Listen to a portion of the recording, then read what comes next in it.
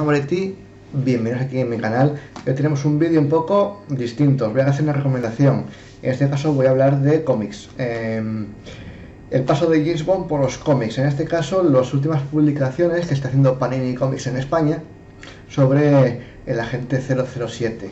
¿Vale? Esto está siendo publicado a nivel internacional a través de la editorial eh, Dynamite, ¿vale? Dynamite. Pero bueno, James Bond, que sepáis que en los cómics desde los años 60, desde que empezó su incursión en el cine, esas novelas, esa traslación al cine de las novelas de Ian Fleming, que también tengo alguna y tal, bueno, pues em, ya se fueron publicando cómics, incluso algún manga. Pero vamos a centrarnos un poco en las últimas publicaciones que hemos tenido en España. Tengo todos los tomos que hay, ahora mismo en España hay tres, y falta uno por publicarse, que se llama Black Box. Entonces, el primero que os voy a hablar será de Bang, ¿vale? Y está organizado por Warren Ellis con el dibujo de Jason Masters. Entonces, bueno, que sepáis que tanto Bang como Eidolon tenemos a un dibujo estupendo, ¿vale? Está muy muy bien. Y la historia tanto de Eidolon como de Bang están enganchan bastante, ¿de acuerdo? Para que veáis un poco así los dibujos. Veáis un poco la idea.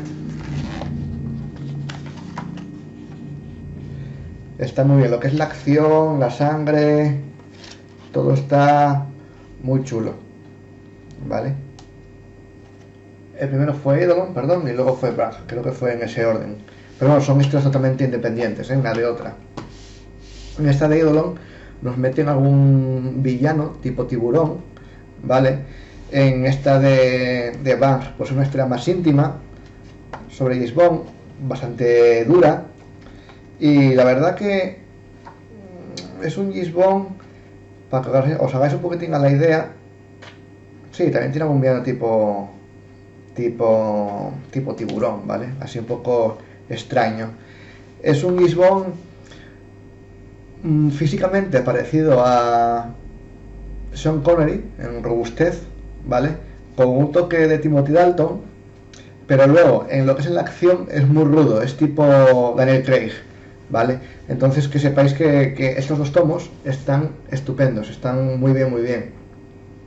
Por ejemplo, voy a leer este, la sinopsis de Eidolon, un agente del MI6 infiltrada en el, en el equipo de la embajada de Turquía en Los Ángeles ha sido descubierta. Le corresponde a Gisbon rescatarla y traerla de regreso a Inglaterra. Está así una compleja trama en que se involucran servicios secretos de varias naciones. Fondos de dudoso origen quedan al descubierto y se entablan complicadas luchas políticas que entorpecen la misión, mientras Jane y sus compañeros están cada vez más cerca de expresar el significado de Eidolon. ¿Vale? Y en el caso de. de. de Bang, Después de una vengativa misión en Helsinki, Gisbon regresa a Londres y asume el trabajo de un agente de la sección 00, que ha caído en acción. Esta nueva misión le llevará a Berlín para presumiblemente desmantelar actividades de tráfico de drogas, pero Bond no es consciente de la temible conspiración que se está organizando contra él, de una amenaza de grandes proporciones y de letales consecuencias con la que nunca se ha enfrentado antes. Berlín está a punto de arder y Gisbon está atrapado allí. Bueno, pues estas dos hay que comprarlas sí o sí. Ahora, la que acabo de leer últimamente, estos días, ha sido este, Hammerhead. Pero ya tenemos ya un dibujo y un guion diferente, Digel y Casa de Guinda. Y se nota, se nota bastante, ¿vale? Un dibujo un poco más, no sé si llamarlo infantil, el color está muy bien,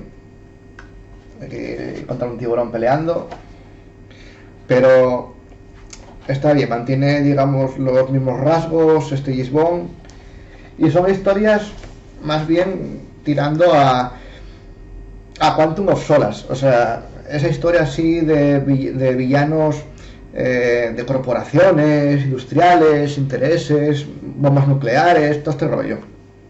Por ejemplo, esta dice: Han asignado a James a la misión de capturar a Kraken, un misterioso anticapitalista radical que ha, que burlado la seguridad de una importante compañía británica de fabricación de armas, Hunt Engineering y ha puesto así en peligro la estabilidad mundial. Pero algo no va como se esperaba, y 007 se verá arrastrado en una espiral de conspiraciones que estallan alrededor del negocio de la venta de armas. Bueno, pues básicamente eso, ¿de acuerdo? Entonces, os tengo que decir que, lo que son los dibujos no defraudan, están muy bien. Este igual está un poco más inferior que los otros dos que os acabo de, de comentar. Y son, bueno, para los que sois coleccionistas de Bond, hay que tenerlos, sí o sí. Y bueno, si os gusta la lectura de estos tipos de cómics que hay son más bien adultos, pues también os va, os va a gustar, sobre todo los dos primeros. Este igual me baja un poco de nivel, eso sí, se leen bastante rápido, o sea, se leen en una tarde y tal, lees cada uno. Y, nada más, decir eso, que para mi gusto es un Bond de una acción, de un tipo de trama muy parecida a la segunda película de Daniel Craig, Quantum of Solace, ¿vale? A mí Daniel Craig como Bond me gusta mucho, es muy rudo y es muy parecido a estos a este Bond, ¿vale? Y las tramas de las películas son eso, tipo Quantum of Solace.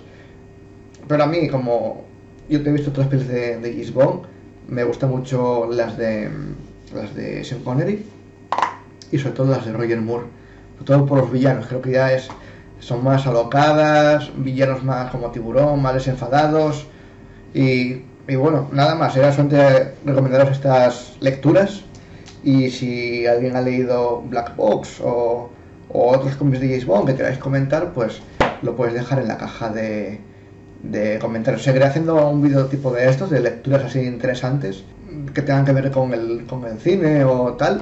Sobre todo lecturas que, que os aporten algo, algo interesante, ¿vale?